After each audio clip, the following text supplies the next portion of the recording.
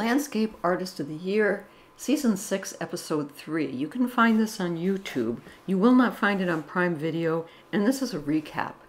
And I hope you hang in there with me because this is going to be a really difficult episode to recap, and in a second you'll find out why. Let's get started.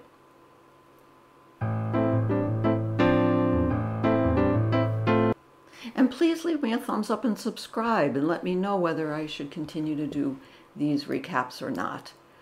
All right, here we go. Now, remember, in order to be on the program, you have to submit a landscape and that the judges look at it and they decide whether you should be on the program or not. This is our first landscape. I know, I know. What are we going to do with this? We're going to look at it and sit with it and breathe in and breathe out and accept the image. That is my all I can say about this. Now we will go on to artist number two. Artist number two is a much more conventional landscape, and in this case, it's a cityscape. Looks like this person draws quite quite well. Um, there's a lot of black going on in these mixes here, so that dulls everything down a bit. But it does make the reds kind of pop, and there's a lot of action. It looks like it's a fire, a response to a fire, perhaps, which is um, which is interesting. You know, what this person's done is is not concentrated necessarily on the land, but on human activities. And I don't know that we've seen that before. So so far we have two very different entries get ready, hold on. You might have to buckle in, actually. Here's number three. Number three is a surrealist painter. Um, and I'm not opposed to surreal paintings at all. I do a lot of tablescapes and, and I put little animals in them and, and different things. But this is, this, is, this is about as surreal as it gets. You can tell the references from art history. Again, we have three incredibly different painters. And like I said, stay buckled in because here's the, the fourth. Oh my gosh. All right, here's the fourth landscape. This is a very tonal kind of drawing, I guess, drawing of green hills with some kind of structure at the very top of it. We'll get a closer look of, at it here.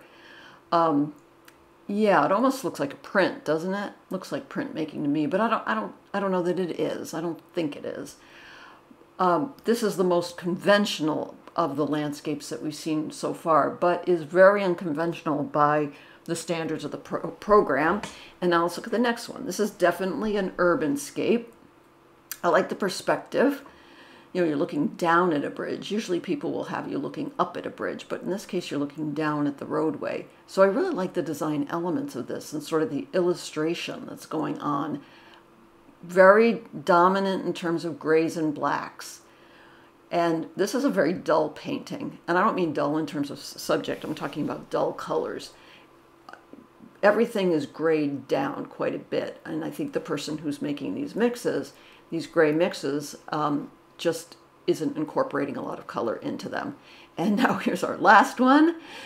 Our last one is probably the most conventional of the of the paintings that we've seen um, well, in this episode for sure, because this is a complete completed painting. It's an interesting thing because what this person has done has given us the um, landscape as it's reflected back to us from the windows. And I love that. I absolutely love that. Um, so I like that this is inventive and um, and we haven't seen anything like this on the program before. Okay, where are they today? They are at West Reservoir and in a second, we're going to see a view from the pods. So it's a sunny day, which is a really good thing. Oftentimes we'll get a very gray day with gray sky and gray water. But today we have sun, so that's going to give us a lot of shadows and that should provide us with some shapes. But you're going to have to kind of invent a landscape here because it's, it's very, very horizontal. So you better have some vertical elements going on see how the vertical elements are really spaced out there, almost like one, two, three. So you got to do something with that. It's it's too symmetrical in terms of the spacing. So um, uh, and I don't know if people, if they're going to include the dock or not. We'll we'll find out just in a second. Here are their pods, which gives them some degree of comfort, keeps the wind and the rain away, but uh, Uh, you know, not the not the cold. It, it, could be a very cold day for all we know, and we don't know. They're going to paint for four hours.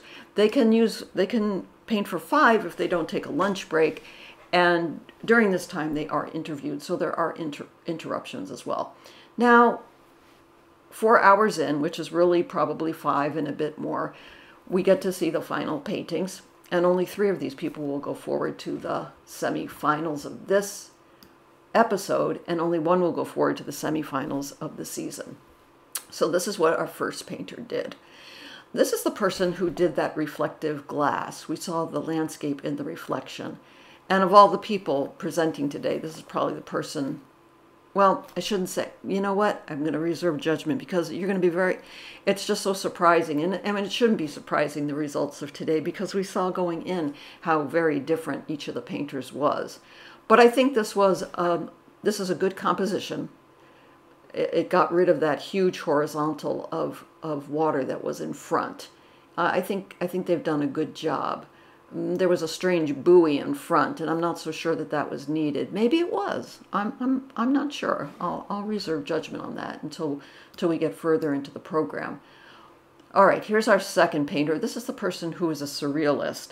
So she's invented landscape and created a clock and a, a probably, an, I think it's an aigrette or maybe a great blue heron going above.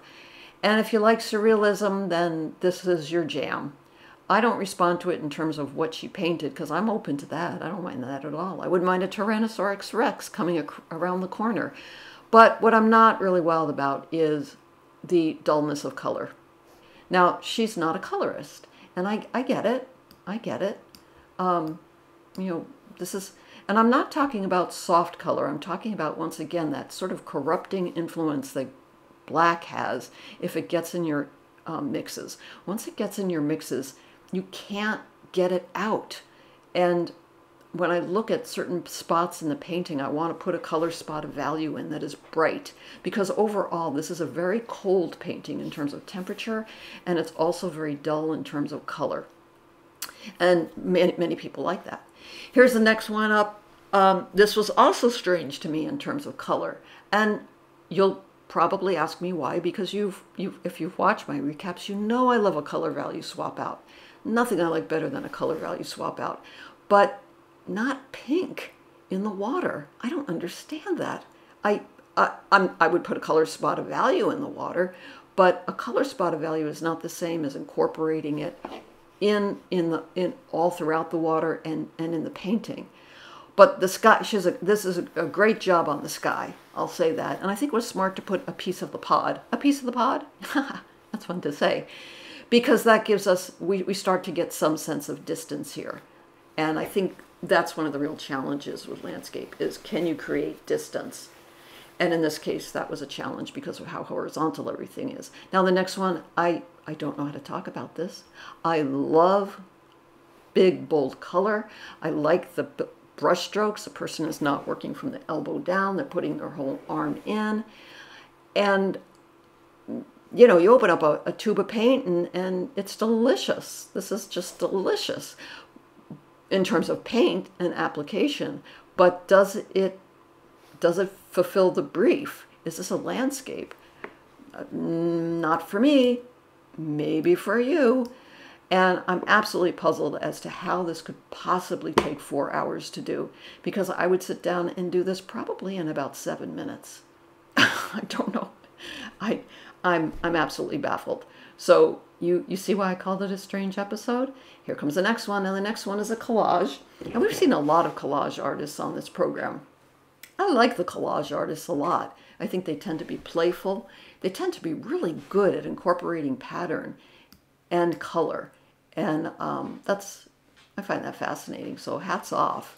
So, um, but, but, um, it's very you know it's very very flat and that's not because it's a collage we've seen other collages which have provided a lot of distance and space but it's just not happening here and that has to do with i suspect probably the value range i just think it's it's that and that's okay you know, so far this one holds together pretty well for me. So I'm, I'm not unsatisfied with this. Here's the last one. And this is, um, this is a painting. Um, it, it's very unorganized for me. Um, I like the color spots of value, thank you, because I want my greens and then I want some, you know, red hit to go in there. Color spot of value. There's movement but overall, as a composition, for me, it's really disorganized, and, and I don't know what to do with that. Maybe you do. I don't know. So for me, this was not a really, really strong episode. And that's surprising because we've seen some episodes where absolutely everybody is a great painter. And we've seen some episodes where it's about half and half. But in this particular episode, um, it, all the artists left me wanting quite a bit. Now we'll get to the final judging. The final judging probably happens around four or five o'clock in the afternoon based on the light and the shadows going on here. So it's been a really, really long day and exhausting because they've had to travel here. You know, uh, just this is not an ideal venue for the kind of painter I am. I like to get lost in the in painting and it would have had lots of interruptions and you're not in your regular environment. So hats off to these people. It's a real challenge. Here's our first finalist. This was the painting that I found somewhat disorganized, uh, but it does show a sense of place. You know, they were on the waterfront, and that's being shown here. I really don't have a lot to say about it other than that. Now, now let's look at the painting that, that the same artist did in order to be on the program. So this was what he does when he doesn't have time constraints.